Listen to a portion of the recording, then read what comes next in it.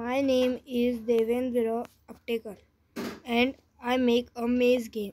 I studied in 8th class and my school name is Late Shri Vinayak Gopal Shenvi Vidyalaya.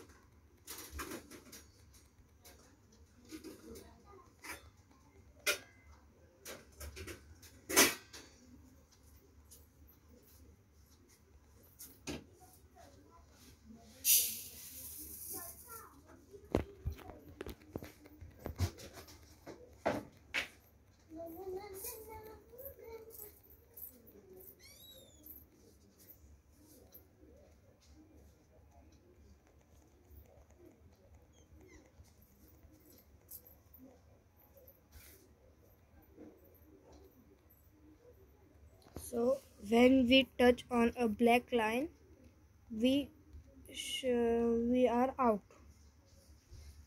Then we have to start the game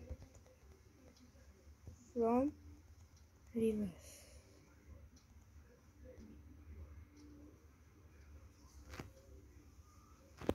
This we are